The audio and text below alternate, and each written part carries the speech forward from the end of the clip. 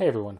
Today I'm going to go over how to pull stock prices into Google Sheets and then how to import that data into a Microsoft Excel workbook. So in the past I've gone over how to use the stock history function in Excel, but that's only available on newer versions of, of Excel. And I've also gone over how to how to pull in data from Yahoo Finance, but that's more ideal if you're looking for um, historical information as opposed to uh, stock prices for a lot of different stocks. And so that's what I'm going to cover in this video. So I'm going to start with getting the data into Google Sheets. So I'm going to create three fields here. One for the company name, the ticker, and then the stock price. So I'm going to enter Apple, and its ticker symbol is AAPL. Disney is DIS, Amazon AMZN. So to pull the stock price into Google Sheets is actually really simple. There's a function called Google Finance where you can enter the ticker, the attribute you want, the start date, the end date, and the interval. So because I just want the, the current share price, all I'm going to do is reference the ticker and then for the attribute, I'm going to say price. And that gives me the latest share price for Apple, Disney, and Amazon. Okay. Now, if I wanted to, I could pull in historical information here, and I'll quickly show you how you can do that. So, again, I'll go back to Google Finance, reference Apple, and then still I'm going to reference the price here, but now I'm going to enter a value for a start date and an end date. So for the start date, I can say, let's go back 30 days by using the today function minus 30. And then I want up until today, today function as well. And now it's going to return all the values that fall within that range. Now, the one thing you'll notice is that when you when you run this function, it's going to return both a date column and a closing value column.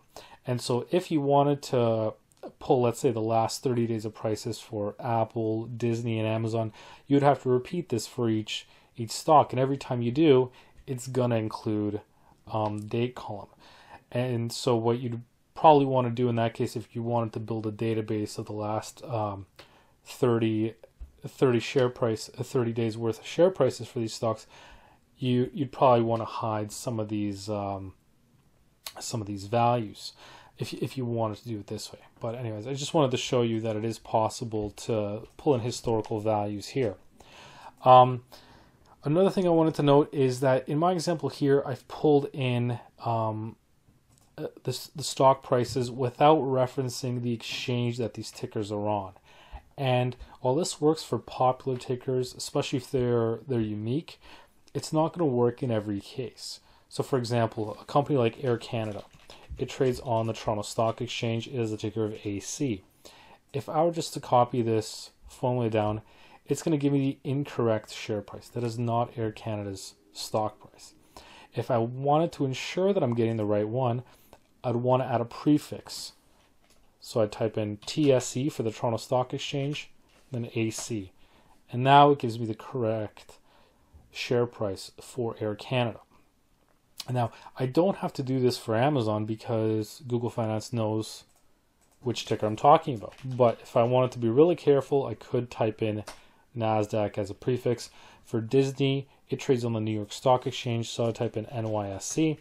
For Apple, again, that one's on the NASDAQ, so I type in that prefix for that one. So if you want to be careful and make sure you're pulling for the right exchange, you could do um, that and add a, add a prefix. What you may want to do is add one column for the exchange, one for the ticker, and then one to concatenate those values together.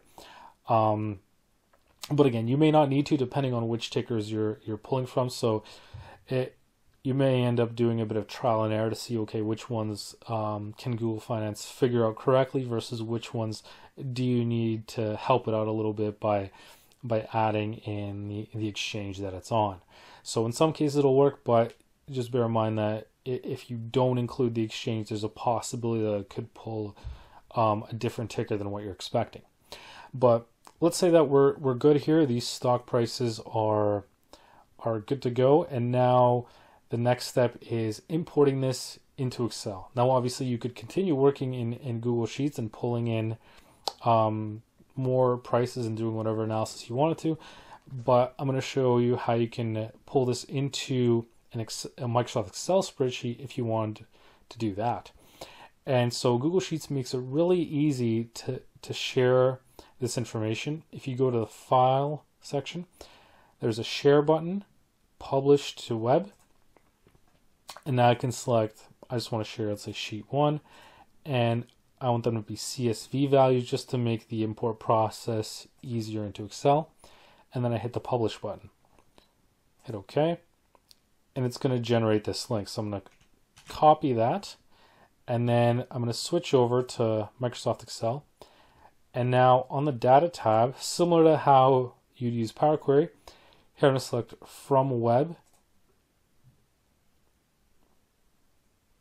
And then what I'm going to do here is just enter that URL that I copied. Hit OK. And now it's going to load this data from Google Sheets. So now you can see because it's in a CSV format, it's it's really easy for Microsoft Excel to figure out the different fields and what I want to pull in. And so I don't need to do any additional transformations. I can just hit the load button and it populates into my spreadsheet. So that's how you pull in stock prices into into Microsoft Excel using uh, Google Sheets. Um, the one other caveat I, I, will point out is that in some cases, especially if you're dealing with with a big data set, if you if you've got you know dozens of, of tickers, uh, you may notice that um, it doesn't update instantaneously. That I've noticed sometimes there could be a lag of a few minutes or or, or longer. Um, otherwise, you just right click and hit refresh to update this data. But just bear in mind that it, it may not be up to the second um, based on what you what changes you've made on on Google Sheets. So it may take some time for those updates to, to populate in here correctly. But as long as you're okay with uh, a little bit of a lag, then th- this solution would work would work well for you to pull pull in the most recent stock prices, and there's really no limit as to the number of tickers that you could um, use this for. So it's a great way to pull in the data if you're not able to access the stock history function, or if you just want to pull in a lot of different um, a lot of different tickers. So that's how you pull in data into uh, Microsoft Excel using Google Sheets. Thanks for watching.